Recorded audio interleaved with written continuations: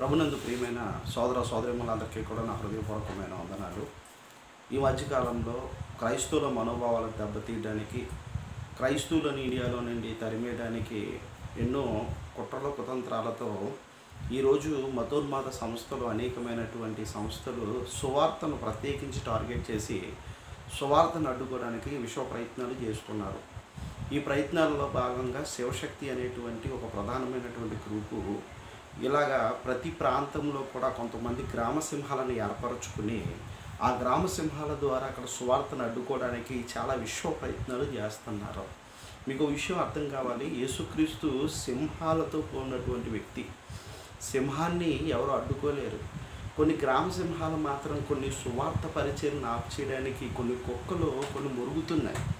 ఎలా మురుగుతున్నటువంటి ఈ కుక్కలు కొన్ని కొన్ని ప్రాంతాలలో చాలా భయంకరంగా వాళ్ళు బలప్రయోగాలు కూడా చేయడం అలాగే వాళ్ళని అడ్డుకోవడం వాళ్ళ స్థానబలాన్ని చూసుకుని అక్కడ కొంతమంది వ్యక్తులను పోజేసి సువార్తను అడ్డుకోవడానికి విశ్వ ప్రయత్నాలు చేస్తూ ఉన్నారు.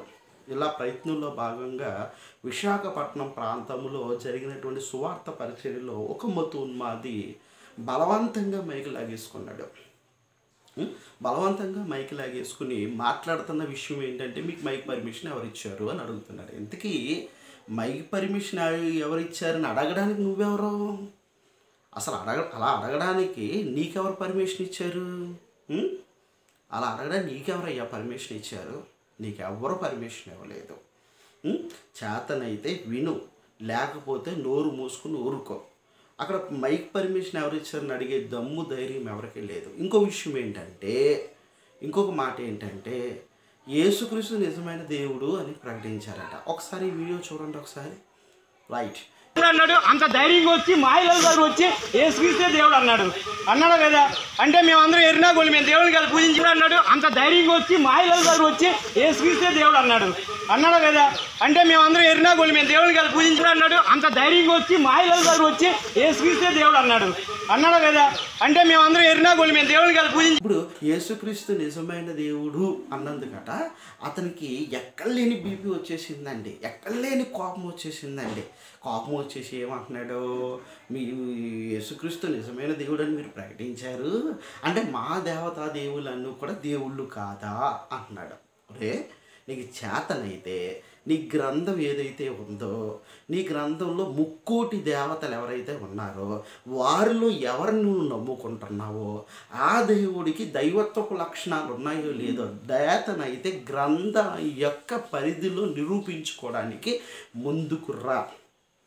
బైబిలు ప్రతి మనిషి కూడా తీసి చూపిస్తాడు యేసుక్రీస్తు దైవత్వపు లక్షణాలన్నీ కూడా.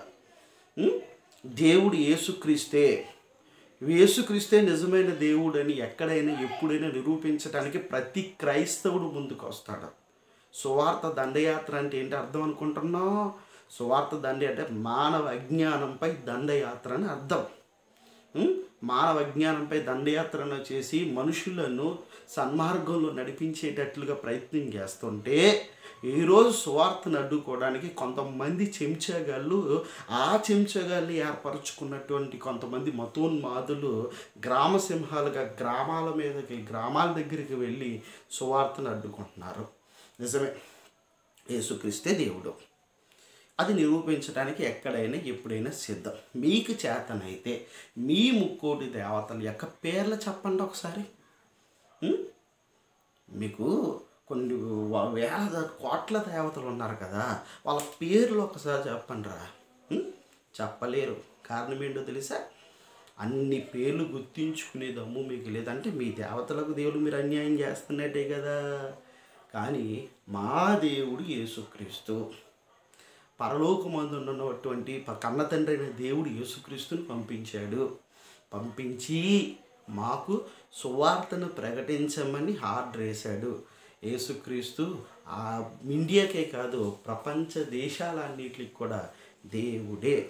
ఇప్పుడు మేము దేవుడిని ప్రకటిస్తున్నాం. మీకు చేతనైతే మీ దేవుడికి ఉన్నటువంటి దైవత్వపు లక్షణాలు ఏవైతే ఉన్నాయో ఆ లక్షణాలను సమాజంలో బహిర్గరంగా బహిర్గతంగా చెప్పండి.